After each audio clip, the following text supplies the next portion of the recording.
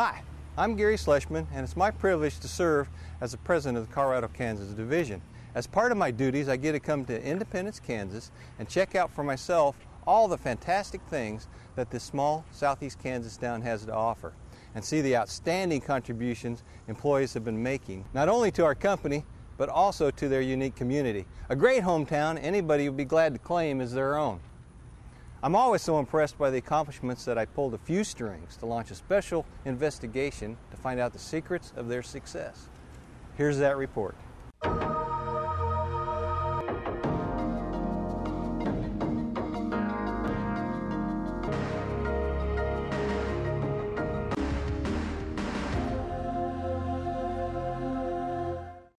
What is the secret behind the spirit of independence? Independence, Kansas, that is. Hello, I'm Bill Kurtis. On this special edition of Investigative Reports, we look into the mystery of how a small Midwestern town can host a nationally recognized theater festival each year in honor of its homegrown Pulitzer Prize winning playwright, put on the state's largest annual celebration, attract Fortune 500 companies to its economy, while providing a quality of life that most Americans are looking for but thought didn't exist anymore. Our search begins here. Nestled snugly in America's heartland, tucked away in the rolling hills of southeast Kansas, are some of the state's brightest blossoms, a field of dreams passed down the generations and sustained by a special spirit of independence. Atmos Energy employees play a major role in firing up that special spirit by providing gas to homes and businesses and by their full participation in the community's efforts to maintain the quality of life where they can grow and prosper in a progressive small town environment. The life force behind the spirit of independence is the army of citizen volunteers, bolstering every aspect of the community's civic, cultural, and educational endeavors. In return, the city provides its residents with a feeling of security, enjoyment, and accomplishment, with unique opportunities not often found in cities five to ten times as large. Providing a safe, nurturing environment for families has been a primary part of the spirit of independence from its beginnings. Among the early settlers were Pa Ingalls and his family, made famous by his daughter Laura Ingalls Wilder and her book Little House on the Prairie. Laura's log cabin home has been painstakingly reconstructed on its original site, located 13 miles southwest of Independence. Later, the oil boom fueled the creation of local tycoons like Harry Sinclair, who founded his oil company in Independence. Legend has it that Independence at the turn of the 20th century had more millionaires per capita than any place else in the United States.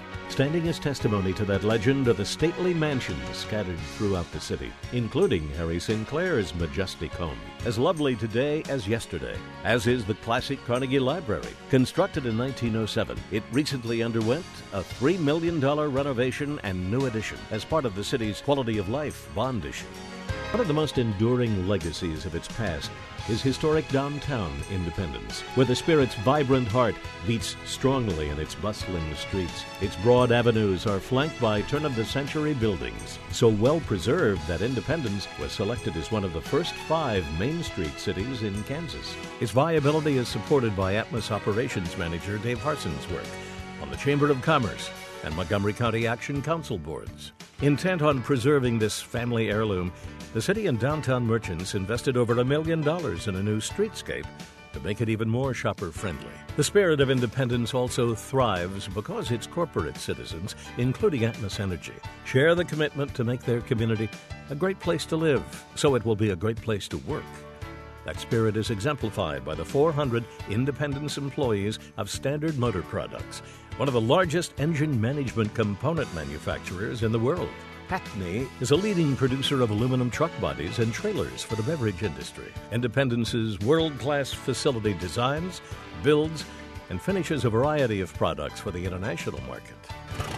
A hallmark of the spirit of independence was the recruitment of Cessna aircraft. Community leaders and volunteers rallied to fill the economic void left by ARCO. They won the worldwide competition to be the site of Cessna's $60 million re entry into the single engine aircraft market and the right for independence to claim the title of the light aircraft capital of the world. The Cessna and Independence partnership has been so successful, the company decided to invest $20.4 million to expand the local facility to 528,000 square feet for the assembly of their new Cessna Citation Mustang business jet. Quality education nurtures the spirit of independence.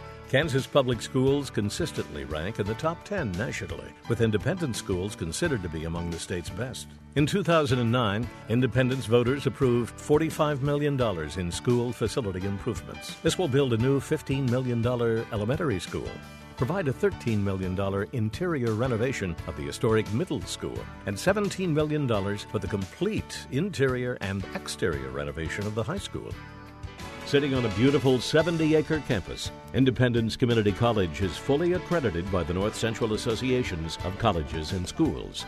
It offers personalized instruction in a two year academic program, as well as adult education, business, and technology courses. The cultural highlight of the year is ICC's annual William Inge Festival, where America's theatrical legends gather to honor the Pulitzer Prize and Academy Award winning playwright. All right, I warned you. Born and raised in Independence, Inge's works include Picnic and Splendor in the Grass. The college, assisted by local volunteers, hosts the three day festival to recognize outstanding American playwrights. The spirit of independence is exemplified by Atmos Energy's participation in the annual OK Kids Health and Safety Festival. Atmos employees give out balloons, trinkets, and gas safety information. But if you smell this odor, smell that? Smells like rotten eggs, doesn't? It stinks. Well, that's that's what our gas smells like, and that odor's there so that you can let your folks know that you're smelling that odor, and then they can call us. All right. So if you ever smell that odor, you want to let your folks know, and then they'll call us up, and we'll come out and check it out and make sure it's safe for you. Okay. The spirit of independence is refreshed in Riverside Park and Ralph Mitchell Zoo. 124 acres of pure delight for young and old. It's a great gathering place for festivals, reunions, and Atmos employees' participation in the annual Mercy Hospital Barbecue Championships. Or for swimming in the new 12,700 square foot Riverside Beach Family Aquatic Center. The $3 million facility was another benefit of the voter approved Quality of Life Bond issue. Kids are safe to roam free in a park packed with sports facilities, a variety of rides, and playground equipment, including the merry-go-round, which is still just a nickel to ride. Because it's full of spirited tennis fanatics, in 2009, Independence submitted a video in the USTA Best Tennis Town in America contest. In a nationwide online vote, the local tennis association won third place and $25,000 in equipment for its outstanding tennis program. Thousands flock here each October to revel in the spirit of independence during Neewollah, which is Halloween spelled backwards. A week long celebration for kids of all ages that is the largest festival in Kansas. Downtown has turned into a carnival midway, where, with the help of hundreds of volunteers, this town of around 10,000 adapts itself to becoming a city of over 80,000. Memorial Hall hosts shows by top performers in the entertainment world during Neewollah and throughout the year. It and the adjoining Civic Center, used for meetings and trade shows, recently underwent a $3 million quality of life renovation, including new sound, lighting, and stage rigging to support the annual Neewollah musical performed by the best of local talent. Clever costumes, floats, and short legs are the order of the day for the Friday Kiddie Parade, with the festivities being topped off on Saturday by one of the biggest and grandest parades ever a two hour kaleidoscope of music, color, pageantry, and just good old fashioned fun. Well, there you have it. A few blossoms from the field of dreams that make up the Atmos Energy fired up spirit of independence. Take it from me, it's a great place to grow up. How do I know? Did I forget to mention that Independence just happens to be my hometown? While that may make this particular investigative report a bit biased, it doesn't make it any less true.